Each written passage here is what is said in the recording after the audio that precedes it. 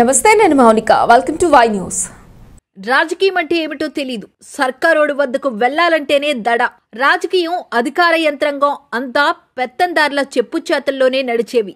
ఇదంతా పంతొమ్మిది వందల ఎనభై మూడు నాటి పూర్వస్థితి మున్సీబు కరణాల కర్ర పెత్తనాలతో జనం నలిగిపోయే ఈ దశలో ఆంధ్రుల అభిమాన ఎన్టీఆర్ రంగప్రవేశం తెలుగుదేశం పార్టీ స్థాపన తొమ్మిది నెలల్లోనే అధికారాన్ని అందిపుచ్చుకున్న ఎన్టీఆర్ ఎన్నెన్నో సంస్కరణలకు శ్రీకారం చుట్టారు.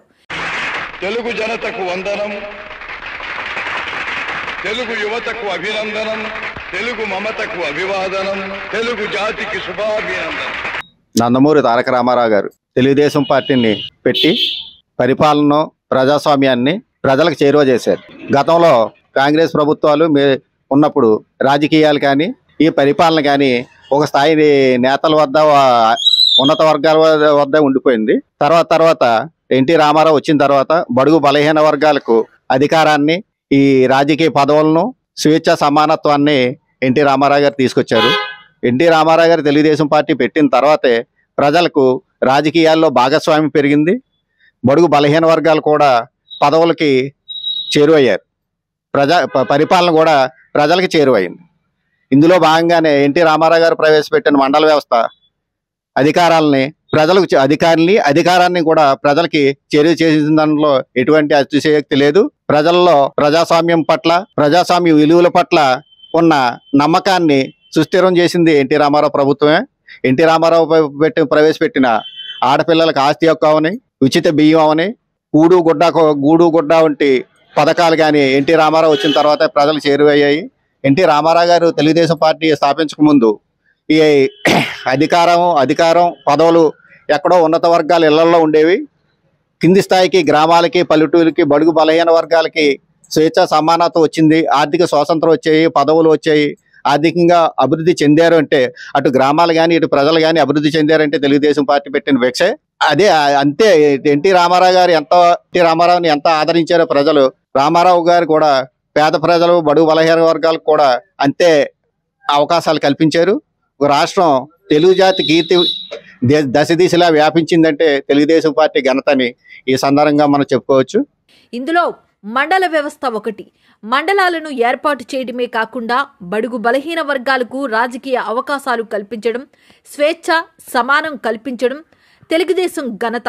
అప్పట్లో ఎన్టీఆర్ కేబినెట్లో యువ కిశోరం యనమల రామకృష్ణుడు అందివచ్చిన అవకాశాలతో మండలాల వారీగా అభివృద్ధి విత్తనాలు చెల్లారు. అందరికీ నమస్తే అండి. మరి పంతొమ్మిది వందల ఎనభై రెండులోని మన రాష్ట్ర చరిత్ర మార్చిన రోజా రోజు మరి మరి మన మన పార్టీకి ముఖ్య కారకులైన శ్రీ తారక రామారావు గారు మన రాష్ట్రాన్ని దిశానిర్దేశంలో నడిపించాలనే కార్యక్రమాన్ని పెట్టి మరి తెలుగుదేశం పార్టీని నియమించడం జరిగింది. మరి ప్రతి ఒక్కరికి కూడు కూడా ఉండాలనే ఉద్దేశంతో ప్రతి ఒక్కరికి సంక్షేమ పథకాలు అందిస్తూ ప్రజల్లోని తనకున్న శైలిను తనకున్న శైలిను నింపుకుంటూ ప్రజల కొరకు అనేకమైన కార్యక్రమాలను పెట్టి ప్రజల వైపు విజయ పథకంలో నడిపించిన ఏకైక వ్యక్తి ఉన్నారంటే మన ఎన్టీ రామారావు గారు.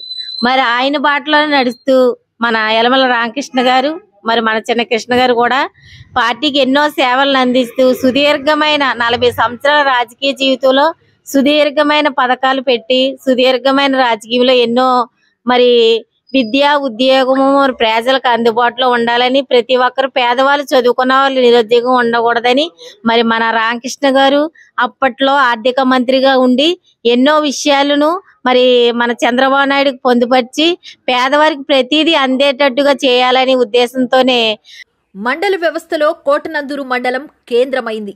ఇది నగర పంచాయతీ కానే కాదు మేజర్ పంచాయతీ అయిన పట్టణాలతో పోటీ పడుతున్న ఆ గ్రామం కోటనందూరు. ఆనాడు తెలుగుదేశం పార్టీ ప్రభుత్వం ఏర్పాటైన దగ్గర నుంచి ఎప్పటి వరకు యనమల నాయకత్వంలో వేసిన అభివృద్ధి పునాదులు ఇప్పుడు మూడు మండలాలకు ప్రధాన కోడలిగా విరాజిల్లుతుంది మన కోటనందూరు. అందరికీ నమస్కారం. పంతొమ్మిది వందల ఎనభై మూడు నుండి మన తుని నియోజకవర్గం ముద్దుబిడ్డ శ్రీ యనమల రామకృష్ణ గారు నలభై నలభై సంవత్సరాల రాజకీయ చరిత్రలో మన కోటనందూరు గ్రామంలో మొత్తం మీద మన తూర్పుగోదావరి ఉమ్మడి తూర్పుగోదావరి జిల్లాలో ఒకే ప్రాంగణంలో MD office MRO office hospital police station high school పశువుల ఆసుపత్రి ఒకే ప్రాంగణం ప్రాంగణంలో తెచ్చినట్టు వ్యక్తి మన యనమల రామకృష్ణ గారు. అలాంటి ఎన్నో సేవా కార్యక్రమాలు ఈ ఆయన నలభై సంవత్సరాల జీవితంలో మన తుని నియోజకవర్గం అనే మన మండలంలో మన కోటనందూరు గ్రామంలో ఎంతో అభివృద్ధి చెందింది. దీనివల్ల అక్కడ ఉన్న చుట్టుపక్కల ఉన్న భూముల రేట్లు విలువలు కూడా ఎంతో అభివృద్ధి చెందాయి.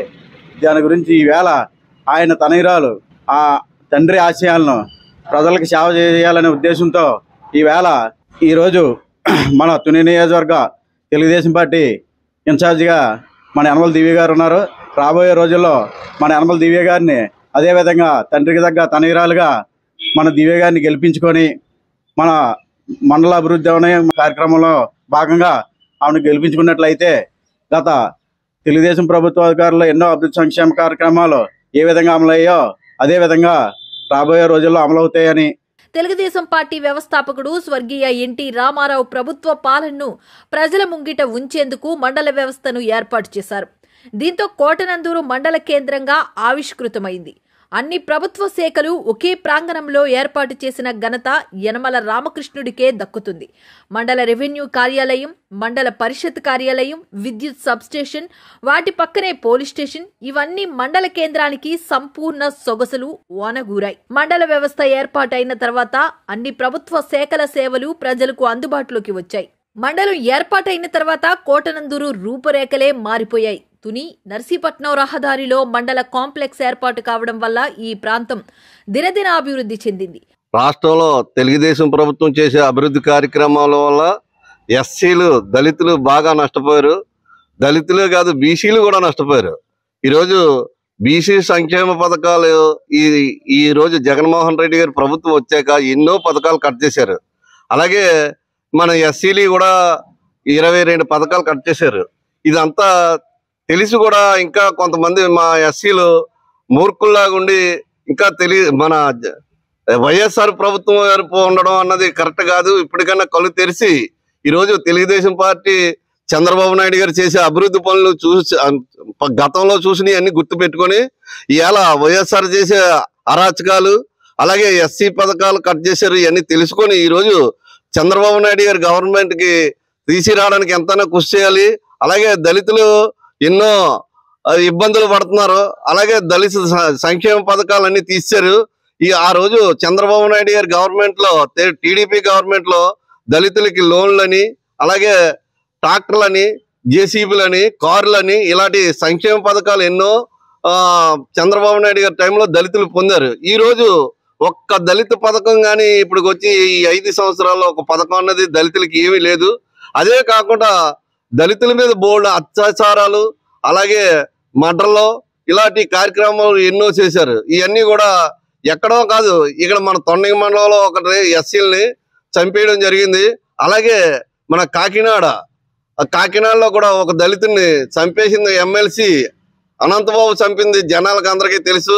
అవన్నీ చూసి కూడా ఇంకా వైఎస్ఆర్ పార్టీలో ఉండడం కరెక్ట్ కాదు.